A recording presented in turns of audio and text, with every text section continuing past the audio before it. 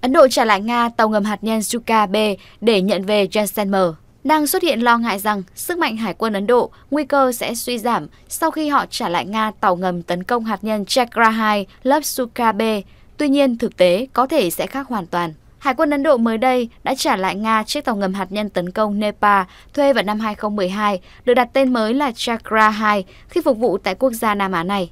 Tạp chí Hindustan Times và kênh truyền hình News Nation cho biết, tàu ngầm Nepal 1 Chakra 2 hay còn được gọi là K-152 thuộc dự án 971U Chukabe, NATO gọi là Ukula, đã được Nga ký hợp đồng cho Ấn Độ thuê vào mùa xuân năm 2012 tại Primorje, Chiếc chiến hạm nói trên sau đó được giao đến cảng Visakhapatnam. Hợp đồng cho thuê có thời hạn 10 năm và ước tính từ các phương tiện truyền thông giá trị thương vụ vào khoảng 900 triệu đô.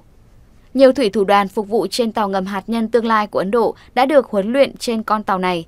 Và thời điểm thuê từ Nga, Chakra 2 là tàu ngầm hạt nhân duy nhất trong biên chế Hải quân Ấn Độ và là chiếc thứ hai trong lịch sử được thuê từ Moscow. Trước đó vào năm 1988, Ấn Độ nhận từ Liên Xô chiếc K-43 Chakra 1 thuộc dự án 670 SCAT theo hợp đồng cho thuê với thời hạn 3 năm. Sau khi đáo hạn, thương vụ không được gia hạn do New Delhi gặp phải áp lực lớn từ Washington. Theo thông tin mới nhất từ báo chí Ấn Độ, tàu ngầm Chakra 2 do các thủy thủ nước này điều khiển hiện đang di chuyển về phía cảng Vladivostok để bàn giao lại cho Nga. Nó được hộ tống bởi một tàu chiến.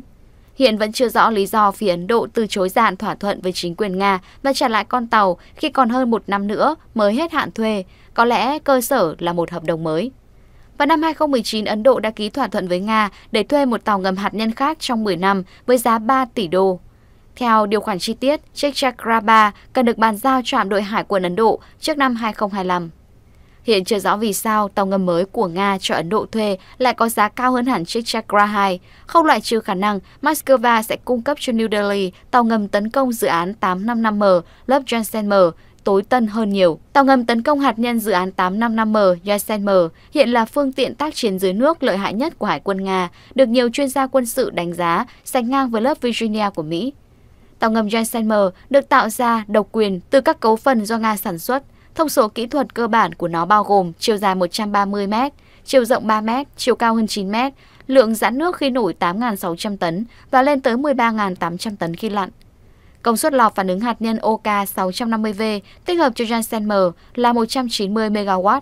Tàu ngầm có khả năng đạt tốc độ 60 km/h và lặn ở độ sâu 600 m.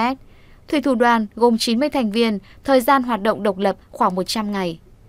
Các tàu ngầm lớp Jessenmer có khả năng lặn sâu 520m, gần gấp đôi độ sâu lặn của nhiều tàu ngầm tấn công thông thường, giúp nó lẩn tránh tốt hơn trước các phương tiện trinh sát cũng như vũ khí tấn công của đối phương.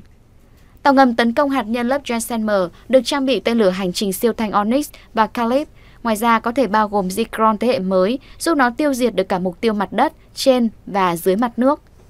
Bên cạnh đó, độ ồn của tàu ngầm Jessenmer rất thấp bất chấp kích thước to lớn, Nhờ lớp vỏ cấu tạo bằng thép từ tính thấp đi kèm với lớp phủ đặc biệt mà những hệ thống định vị thủy âm hay phát hiện điểm từ trường bất thường rất khó tìm ra nó. Nếu được tiếp nhận tàu ngầm tấn công hạt nhân lớp Joyce thay cho Squabe, năng lực tác chiến dưới nước của Hải quân Ấn Độ sẽ tăng vọt so với hiện nay. Nếu như các bạn thấy những bản tin quân sự hay và hấp dẫn, thì hãy ủng hộ chúng tôi bằng cách ấn đăng ký theo dõi. Việc đăng ký trên hoàn toàn miễn phí. Video này, hãy like và chia sẻ cho bạn bè của mình. Hãy cho chúng tôi biết suy nghĩ của bạn bằng cách comment ở bên dưới. Xin chân thành cảm ơn quý vị và các bạn đã ủng hộ.